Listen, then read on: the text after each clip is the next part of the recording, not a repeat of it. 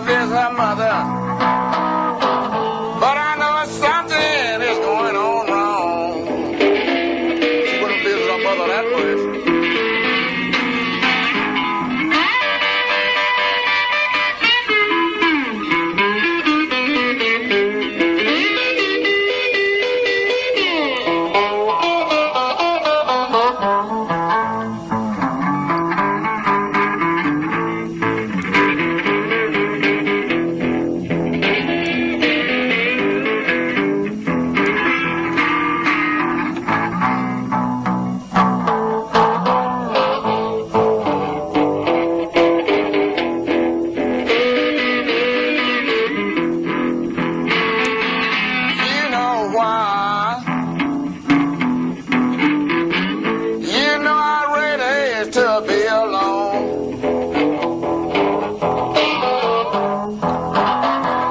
You know why. You know I really to be alone.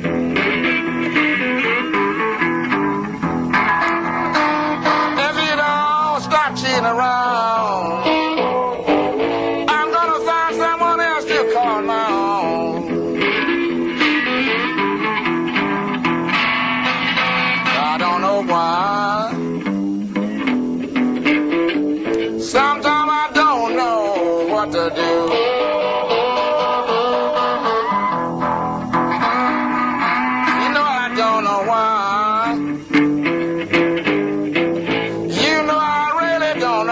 what to do.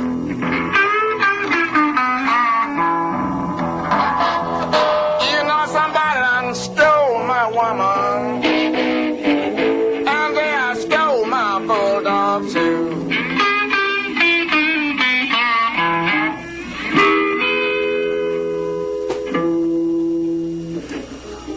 Okay.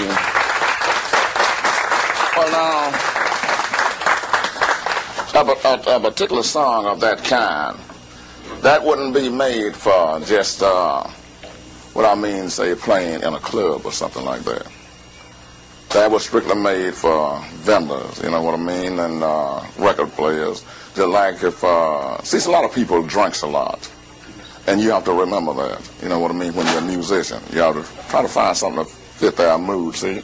A lot of time they, maybe their wife done left them, uh, maybe the best girl done cut out, you know what I mean? Well, they could listen to something like that, then it, that makes them feel a little better. They reach over and get another little drink then, you know. you gotta feel better, see.